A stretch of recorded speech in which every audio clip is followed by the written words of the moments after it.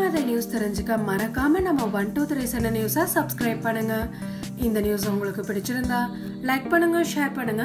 பிடிக்கலனா கமெண்ட் பண்ணுங்க. சர்க்கார் பட ஃபர்ஸ்ட் லுக்கில் விஜய் புகைப்பிடிக்கும் காட்சிக்கு பல தரப்பில் இருந்து எதிர்ப்புகள் வந்தன.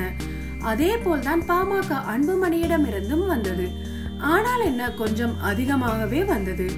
அன்புமணியின் இந்த கருத்துக்களை பலரும் வரவேற்ற போதிலும் சிம்புவின் குடும்பத்தில் ஏதோ சொல்லி வைத்தது போல் டிஆரும் சிம்புவும் எதிர்த்தனர்.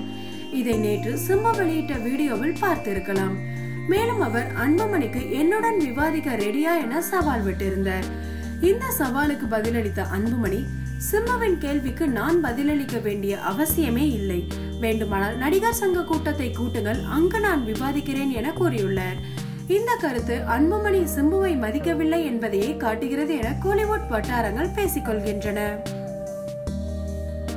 நடிகர் கமலஹாசனின் இளைய மகள் அக்ஷராஹாசன் கடைசியாக அஜித்தின் விவேகம் படத்தில் நடித்திருந்தார். அதன் பிறகு அவர் தற்போதுதான் புதிய படத்தில் நடிக்க உள்ளார். கமலின் சொந்த நிறுவனம் தயாரிக்கும் இந்த படத்தை தூங்காவனம் படத்தை இயக்கிய ராஜேஷ் எம் செல்வா இயக்குகிறார்.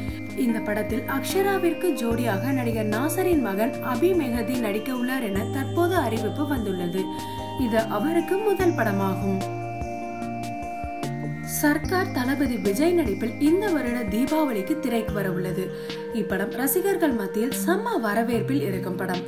விஜயின் கடைசி படமான மெர்சல் ஐம்பது கோடி முதல் நாள் வசூல் செய்தது. இந்நிலையில் சர்க்கார் எப்படியும் முதல் நாள் அறுபத்தைந்து கோடிக்கு மேல் வசூல் செய்யும் என எதிர்பார்க்கப்பட்டது. ஆனால் விஜயின் சர்க்காருடன் சூர்யாவின் என்ஜிகே படமும் வருவதால் கண்டிப்பாக சர்க்கார் வசூலுக்கு செக் தான் என கூறப்படுகின்றது. இரண்டு படங்கள் ஒரே நாட்களில் வருவதால் அதிக பட்ஜெட்டில் எடுக்கப்படும் சர்க்காருக்கு வசூல் பாதிப்பு ஏற்படும் நிலை உருவாகியுள்ளது. இதை முறியடித்து வசூல் சாதனையை செய்யுமா சர்க்கார்? பொறுத்திருந்து பார்ப்போம். மேலும் இப்படத்தின் பட்டைய கிளப்பும் பாடல்கள் விநாயகர் சதுர்த்திக்கு வெளிவரும் எனவும் தகவல்கள் வருகிறது.